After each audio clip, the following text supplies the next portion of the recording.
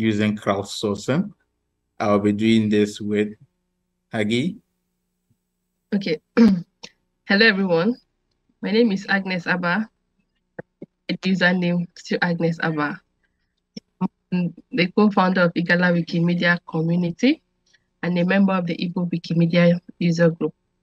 This subject, like um, my co-presenter has said, this subject lies um, at the intersection of biodiversity conservation, linguistic and power of community-driven knowledge sharing.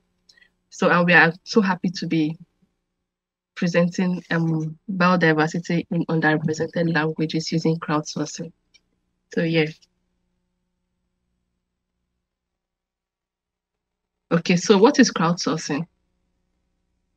Crowdsourcing in biodiversity in biodiversity refers to the practice of collecting and compiling biological and ecological data from wild and diverse group of individual or organization, typically through the use of um, digital platform and technology.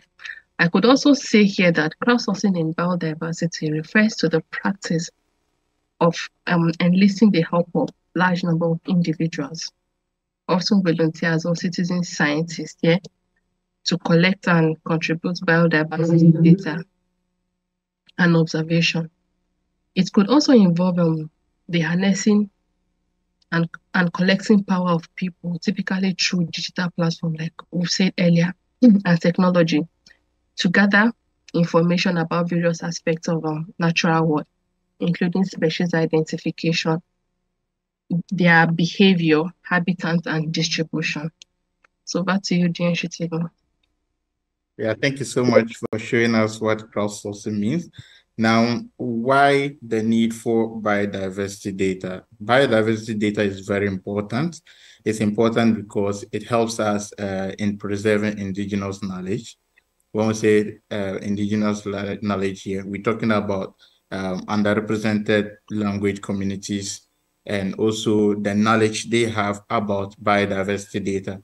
A lot of the flora and fauna that we have uh, some of these organisms can be found in certain countries.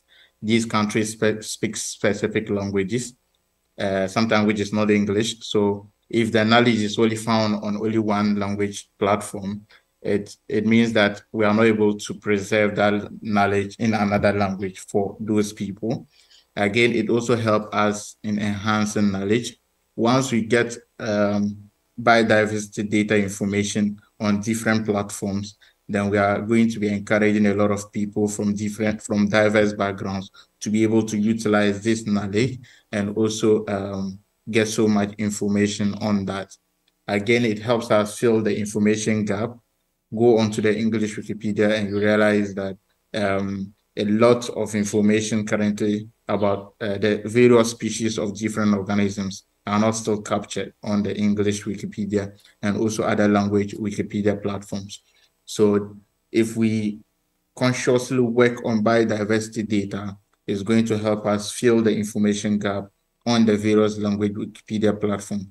Imagine um, the content on maybe plants and animals on the on a particular language Wikipedia as against an indigenous language Wikipedia like Igbo Wikipedia, Dagbani Wikipedia, the Yab language or other uh, Wikipedia platforms that we have also um, biodiversity data is important because uh, it gives us the room for open knowledge and collaboration.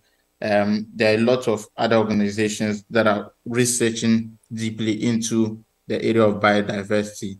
And if we continuously and consciously try to digitize the data on them using iNaturalist and also uh, Wikimedia or Wik Wikimedia projects like Wikipedia, Wikidata, Wikisource, trust me, we are going to be getting a lot of people to collaborate with us. And at the end of the day, we'll be contributing to the total sum of human knowledge.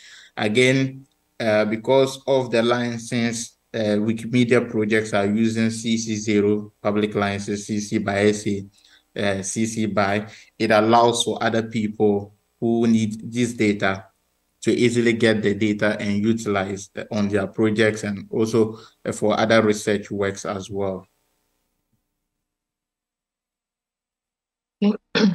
So we have um introduction to iNaturalist. So we've been going forward, we'll be we'll, we're going to be discussing iNaturalist. We're going to tell everyone what iNaturalist is and how it works. But first off, I want to give an um, that's a, an introduction, like a definition. So what is this iNaturalist? iNaturalist is an American 501 non-profit social network of um, naturalists, citizen scientists, and biologists built on the concept of mapping and sharing observation of biodiversity across the globe. So we have um, various features of iNaturalist. So we have the observation recording. So going to iNaturalist platform, like um, what um a researcher would do on iNaturalist, first off, you have to do what we call observation recording. How is observation recorded?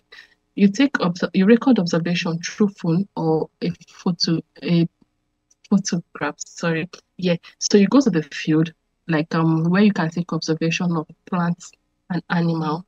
That's a flora and fauna. By taking that picture of that particular observation of that particular plant and animal, that is what observation is. So once you take the picture of that, which is called the observation, and then you upload it to iNaturalist platform.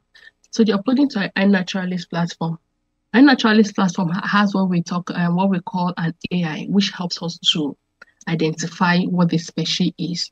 And once identify once the species identify, we might we can know what the name of that particular species is. At times you can even go to like a Google Lens to tell us what the name of that particular species is. And for example, we don't even know, or the iNaturalist platform is not so sure, that the AI itself is not so sure of what the observation which you recorded is. There are so so many persons that will come to help you to identify your particular observation. And the people will tell you that okay, this is this um this you've observed, this is the name, there will be so many identifications to what you've observed. So once there are two to three identifications which ascertain or agree to that to the a particular name of an observation, it will get to research grade. So we have um, what we call research grade on iNaturalist. You have um casual ID, which need casual um ID. Then we have um we have normal identification so the next one we have to talk about the community engagement. So the community engagement itself again still boils down to this identification. Like what the explanation says as the definition of iNaturalist is more like um a social network, be it like your Facebook, your Twitter account and all. So it's more like um a social network, which is actually a non-profit organization. So there's a community interaction, community engagement that goes on in this iNaturalist platform.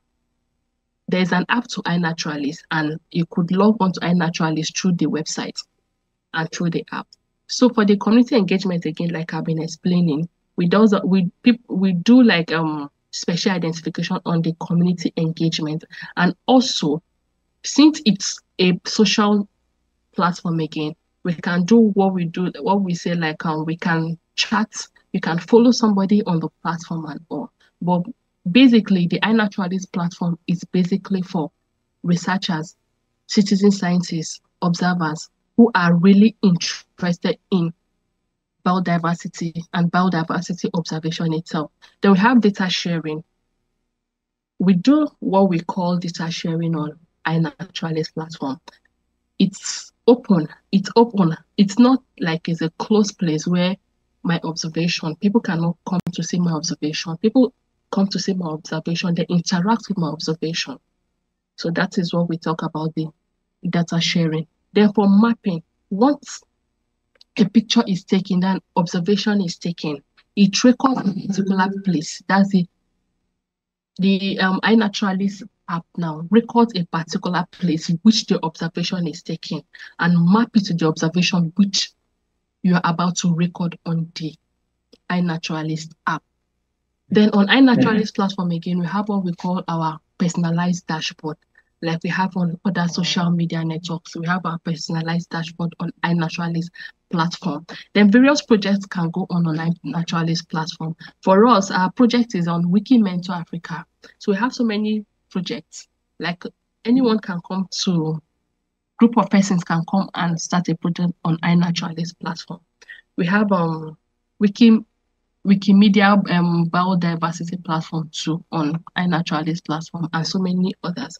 Then you can work on iNaturalist platform even in an offline mode. Yes, and when your data is turned on, your observation synchronize, synchronizes with the app, then it uploads to the platform. Then iNaturalist platform again can be used for educational purpose.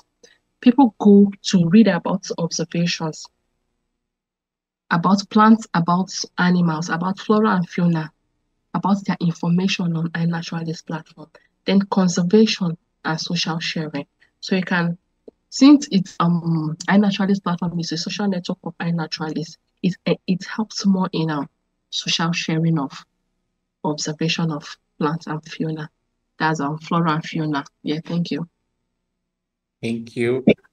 Yeah, so um like um, Agi has mentioned, the iNaturalist app is available on the App Store and also on the Android Play Store. You can just type iNaturalist as it is spelled here, and you'll be able to download that onto your phone. And you can also visit the web version to um, create an account and log into your into the website to look at other uh, information, biodiversity information. Now, iNaturalist is uh, a platform for biodiversity data, but it is not a, rep repository for external data. Uh, she mentioned about the, uh, what's the name, the data sharing. Uh, in as much as it allows for data sharing, it is not a repository for external data. It is not also um, a tool for mapping everything. It is just a tool for mapping biodiversity information and biodiversity data. Again, it is not a way to back up your photos. So um, if maybe you have a, a, repository of your pictures on your phone or your laptop anything, you you can keep it there, no. Uh, because it's, it's a social platform where other researchers come to um, kind of identify, help identify plants, do further research on the various uh, organisms or biodiversity data you upload there uh, it is not a backup for your photos. You can use other online backup systems. Again, iNaturalist is not a way to collect secret information. What this means is that um, the data privacy information is very open and you can get to read that. It also um, liaises on the uh, friendly policies. So you have uh, the friendly policies made known to you there's no way it's going to be collecting security information about you. Um, and so your privacy is rest assured. Thank you. Okay, so basically, this is um, how observation, this picture depicts how observation is taken. So you can see the lady over there, she's holding a digital camera, trying to take observation of these very plants.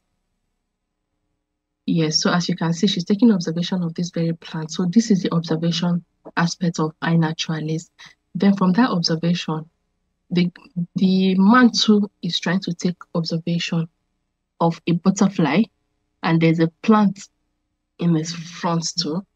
So from there, once observation is taken, you sit on your either um, on your laptop or on your phone. But also the guy is the the man is also trying to take observation, a live observation on his app to record it on his phone. That's um to upload it on his phone straight. That's through the app. Then you can see the lady too. Once um observation is taken, she goes, she she's trying to upload it straight to the website. So what has she has uploaded to the iNaturalist website. So once it goes to the iNaturalist eh, website, it goes straight to the GBIF, that's the Global Biodiversity Information Faculty. The Global Biodiversity Information Faculty synchronizes the information which you've gotten and gives us the information about the particular observation which is gotten. It gives us a lot of information. It tells us the genius, that's the genius, the kingdom which it belongs, the um so many informations about this which generally we are not aware of. Yes. So over to you, Jen Shutubo.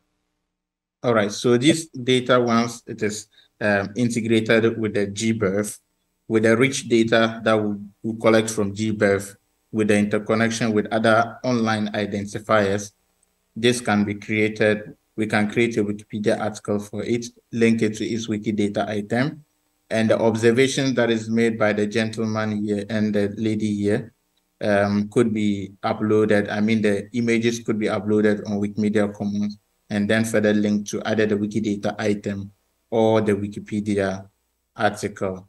So that's basically the general workflow of um, the iNaturalist platform. So the first step is to download the iNaturalist app on your phone, either an iPhone or an Android phone.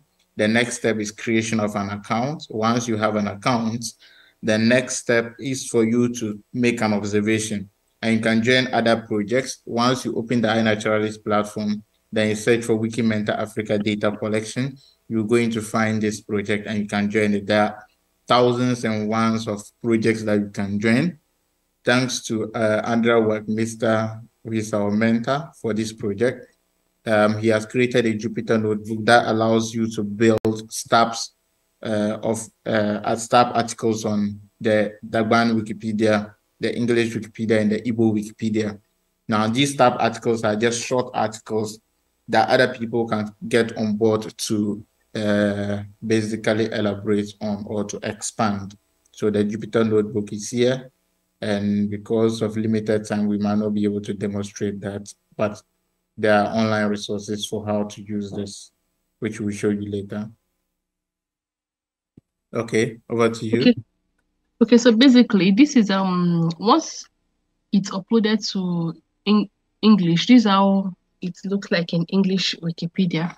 So we have um, our various titles. We have for the first one, we have our title and the short description.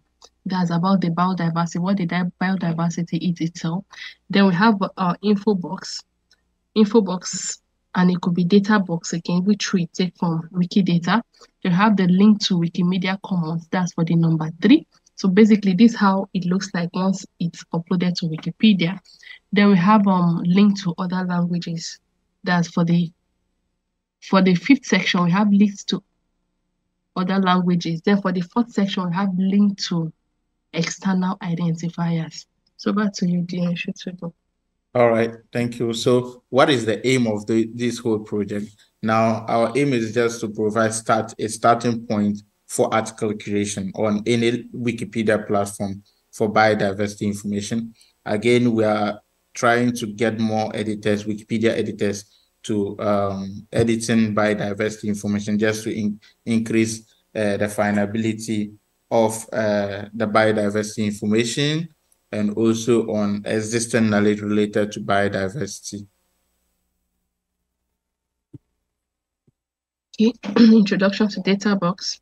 So we have, um, first off, what we do is um, installation of data, if non-existent. We have the resources, we have the invoke the data box template. That also invoke the data box template because that's what we use. Uh, we have we use our, our maker to invoke our data box. Then we now invoke the data box itself to our Wikipedia, which our data box come live of our biodiversity, it comes live.